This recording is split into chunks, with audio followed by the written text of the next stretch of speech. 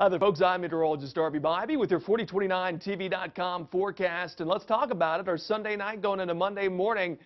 We've got a lot to talk about, actually. Uh, even though we're not expecting a whole lot in the way of additional precipitation tonight, we could have a little bit of light freezing drizzle uh, late tonight into early tomorrow morning, some light freezing mist, that kind of thing uh, roads in northwest Arkansas are going to refreeze. And whatever's left on those roads, whether it's just water, snow, ice, whatever it is, uh, certainly could become very slick by Monday morning as uh, kids are trying to get to school, parents trying to get to work.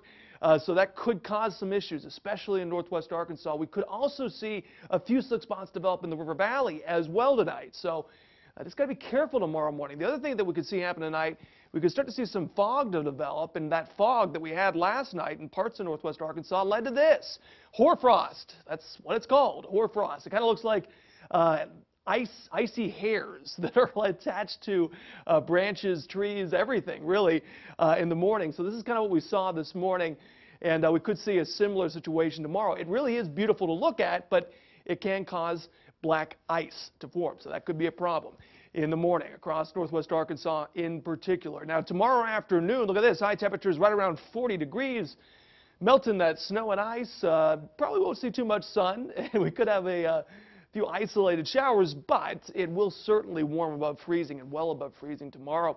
Uh, high temperatures uh, in the lower 40s in the River Valley, and we're looking at at least a slight chance of a few isolated showers, and the same thing goes for us in the Ouachitas with temperatures in the low 40s. Now, let's take a look at our in-house model. Certainly, we don't see a whole lot of precipitation showing up here overnight, though certainly a few areas of drizzle in the Ouachitas, upper elevations of the Ouachitas would see freezing drizzle. I think some of that, though, could make its way into northwest Arkansas and the River Valley, too, so you need to be mindful of that. In the morning, Monday afternoon, a lot of cloud cover out there, an isolated shower. That's really about it. Tuesday, though, arrives with our next cold front. Could see some thunderstorms break out on Tuesday out ahead of this cold front.